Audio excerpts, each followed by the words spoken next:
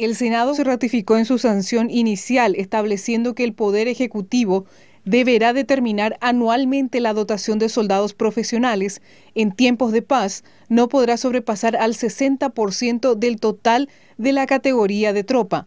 El soldado profesional podrá estar contratado hasta por tres años, tener hasta 25 años, ganará sueldo mínimo y deberá ser soltero según la Cámara Alta. Se consideró importante que para ingresar a esta categoría sea una persona de estado civil soltera por, entre otras cosas, los costos que representan para el Estado la carga de la eh, manutención de, los, costos sociales, ¿verdad? Por ejemplo, atención a la salud y otras cosas que, son muy diferentes cuando una persona es soltera que cuando está casada y aún más si tiene hijos.